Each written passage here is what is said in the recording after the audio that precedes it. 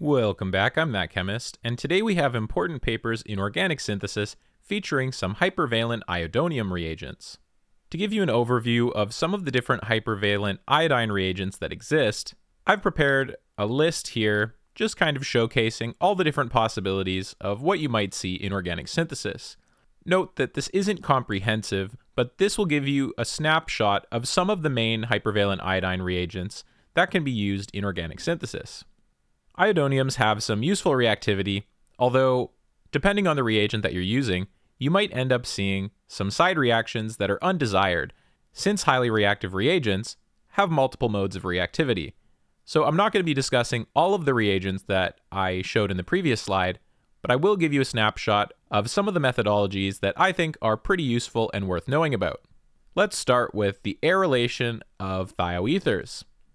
If you take a diaryl iodonium such as this diaryl iodonium hexafluorophosphate, it's possible to arylate an aryl thioether to get the corresponding sulfonium. This reactivity is accelerated by the presence of metal catalysts such as copper benzoate, as is shown here. And the resulting sulfonium, if it contains an alpha proton, can be deprotonated to prepare the corresponding sulfonium ylide. These ylides can engage in a Corey-Chaykovsky reaction, for instance with aldehydes, imines, or even Michael acceptors, affording epoxides, aziridines, and cyclopropanes, respectively. Another reagent that you can do with diaryl iodoniums is the beta arylation of ketones in the presence of palladium and this ligand. Here you can see that a wide range of different functional groups and ketones were tolerated, enabling the installation of beta aryl groups. Now, sometimes iodoniums instead can be transmetallated. So here's a case where Stang's reagent, which is the corresponding cyanoiodonium reagent, is able to transmetallate with this tributyl tin uracil derivative, preparing the corresponding vinyl phenyliodonium triflate. This could then be engaged in subsequent chemistry to install new functional groups at the alpha position. Another case of aryl iodonium reactivity that you quite often see in organic synthesis is the de-aromatization of phenols. In the presence of an alcohol such as methanol, this methoxy group can be added para to the phenol simultaneously de-aromatizing the phenol to this bis-Michael acceptor, which can then engage in more traditional organic chemistry. Alternatively, if the para position isn't substituted, two methoxy groups can be added, and then this could even be deprotected to afford the corresponding benzoquinone. Alternatively, since this is a monoprotected ketal, you could do chemistry with that ketone still prior to unmasking the other ketone. So this is often applied in total syntheses. This reagent not only dearomatizes phenols, but it's possible to add methoxy groups into indoles in the 3 position. This type of reactivity also works for intramolecular cyclizations, where in this case an acetate group is added to the 3 position, enabling the 2 position for nucleophilic attack by the substituted tryptamine derivative, forming this aminal, which was then taken forward in this total synthesis. I'm sure glad I didn't have to make this. An intramolecular disulfide on this sort of motif looks like it would be an absolute pain to synthesize. Another possibility with the reagent BAIB is to transmetallate vinyl zirconium reagents, where the zirconium is instead replaced with an aryl iodonium. This then allows you to have new modes of reactivity besides what would be possible with the zirconium reagent, which is a derivative of Schwartz reagent. Normally these are prepared through the addition of hydro-Schwartz reagent to the corresponding alkyne, which I've discussed in a previous important papers. Alternatively, if you instead have a vinyl boronate, instead of getting transmetallation of the iodine, you're instead afforded with the cis vinyl acetate, which could then be deprotected to afford the corresponding aldehyde. So this is a useful method, and depending on the modes of reactivity that you're looking to achieve, you could add either the hydro-Schwartz reagent to an alkyne to get the corresponding vinyl zirconium, or alternatively, you could hydroborate that alkyne to get the corresponding boronate, which would then allow you to get the acetate. So this is a way to take an alkyne and directly get an aldehyde from it over two steps. Now I briefly wanted to mention the synthesis of iodonium ylides. So if you take a compound with an active methylene position, such as this dimethylmalonate, when you treat this with BAIB, the elimination of two equivalents of acetic acid occurs, and you get an iodonium ylide. These iodonium ylides have been used in all sorts of chemistry, and one example of that is in the synthesis of alpha carboxylic acids. So here in the case of this alkyne containing carboxylic acid, the iodonium ylide is displaced, enabling hydrocarboxylation, affording this interesting product. This would be a way to install an alpha oxygen, which would be different than some of the alternative approaches, which I'll be discussing in an upcoming video. Some other uses of iodonium ylides are shown here, where several different analogs were prepared from the corresponding methylene compounds, and then under photochemical condition, these pseudocarbenes were able to be added to the corresponding alkenes. In reality, this is more like a 2 plus 2 cycloaddition, followed by the elimination of iodobenzene, affording these cyclopropanes. This sort of methodology has also been reported with rhodium and copper, but this is a metal-free version, which I thought was worth noting. As I stated before, this isn't quite a carbene, but a pseudocarbene, as we undergo a 2 plus 2 cycloaddition. This then enables the formation of an iodonium cyclobutane, which then eliminates iodobenzene under photochemical conditions, affording the corresponding cyclopropane. Now, if you were to take one of these ylides and treat them with an aldehyde in the presence of copper, you would get a similar reaction to the Corey-Chaykovsky reaction, where an epoxide would be formed. Although you don't just have to use copper, because other metals have also been reported. Another cool thing that you can do with BAIB is, upon treatment with an amine such as tosyl amide, it's possible to get the corresponding I double bond N reagent. You can think of this as a nitrene precursor, sort of like if you have a carbene, which is a carbon with two unpaired electrons, you could have a nitrogen with two unpaired electrons. And nitrenes tend to be quite reactive. In this case, rather than a 2 plus 2 cycloaddition, we have a 2 plus 1 cycloaddition, where the electron pair of the sulfur is able to attack the I double N bond. And then through the elimination of iodobenzene, we have the transfer forming this S double bond N reagent. These are often useful for preparing specialized reagents or alternatively in the synthesis of ligands.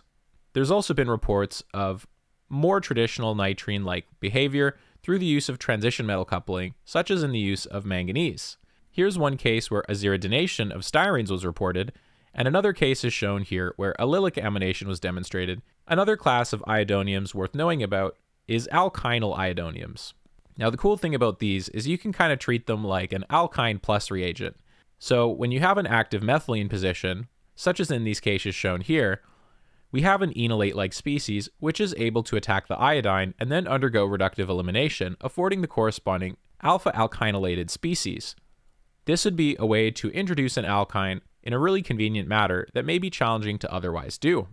So if you're ever looking to install an alkyne in an alpha position, don't forget to consider alkynyl iodoniums, as often these are quite easy to prepare just through the treatment of terminal alkynes with iodosyl benzene in the presence of a strong acid. Here's an example of a transformation of an alkynyl iodonium to the corresponding tosylate, just through treatment with a catalytic amount of copper triflate. Alternatively, you can treat this with sodium benzoate to get the corresponding alkynyl benzoates, or even with the corresponding sodium phosphonate to get the corresponding alkynyl phosphonates. So it's possible to form CO bonds on alkynyl iodoniums through treatment with nucleophilic oxygen containing nucleophiles. Alternatively, if you're looking to add some functionality to the beta position of the alkyne, it's possible to treat them with TMS azide or alternatively sodium azide, and upon workup in the first case, we get hydroazidation while still retaining the iodonium. So now we have a vinyl iodonium.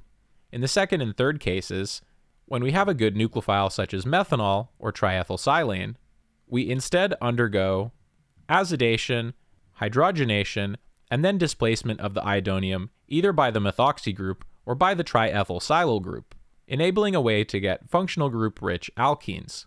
If you were to take an alkyne which has been functionalized in both positions with iodoniums, these can then be treated with a wide range of nucleophiles to get different sorts of products. In the first case, by treatment with sodium thiophenolate, it's possible to displace both of the iodoniums, affording this bis thioether substituted alkyne. You could then do Diels-Alder type chemistry with this to get interesting sorts of substituted products. Alternatively, you could functionalize this further and then have your thioaryl groups retained. In this case, lithium phenoxide was used to get the bisphenoxy ether of acetylene.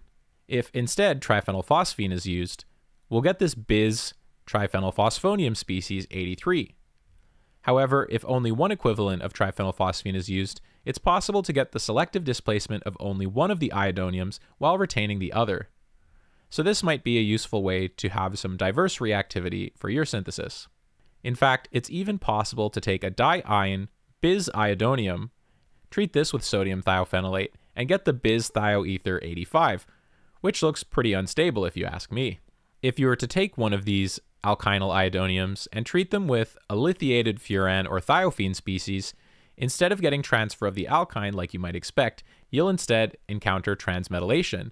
So if you're looking to get a heteroaryl iodonium, taking a lithiated species and transmetallating might be a good way to accomplish that. Such as if you are trying to transfer this furan group or this thiophene group in some sort of cross-coupling reaction, or heteroarylation. In the case of vinyl iodoniums, there's many different ways to functionalize them. It's possible to take Corey-Posner reagents, also known as Whiteside-House reagents, and substitute that iodonium with some carbon-containing nucleophile. If you instead treat this with a cyanocuprate, it's possible to displace that iodonium with a nitrile, giving you an acrylonitrile derivative. When treated with copper sulfate and sodium nitrite, you'll instead form a nitrovinyl compound, which is another useful strategy to install nitro groups, which you don't see featured very often. As with the alkynyl iodoniums, it's possible to use sodium thiophenolate to get the corresponding phenyl thiovinyl ether. Another example with copper halides and potassium halides is for the synthesis of vinyl halides, specifically vinyl iodides, bromides, and chlorides. Similar to what we showed earlier with alkynyl iodoniums, when vinyl iodoniums are treated with a good active methylene compound, will instead have carbon-carbon bond forming reactions. So this is another good strategy to form carbon-carbon bonds. Finally, in the presence of an alcohol and carbon monoxide with a palladium catalyst, it's possible to add a carbonyl group as well as your alkoxy group to afford the corresponding ester. So this one reagent is able to prepare a whole suite of different products depending on what it's treated with. So iodonium species are important to know about due to their wide applicability and the diverse range of products that can be prepared upon treatment with different nucleophiles under different sets of conditions. Do you have bigger synthetic problems? Do you have synthetic challenges which would benefit from some attention from a skilled synthetic chemist? Maybe you're working with a CRO or a synthesis on demand company who's running into some roadblocks, or maybe you're trying to set up your own synthesis in house. If you're looking for some consulting services, I'm still accepting a few more clients for the 2025 year. If you'd like to get in touch, my email is down below. Alternatively, you can reach out to me on LinkedIn. Thanks for watching, and I hope you have a great day.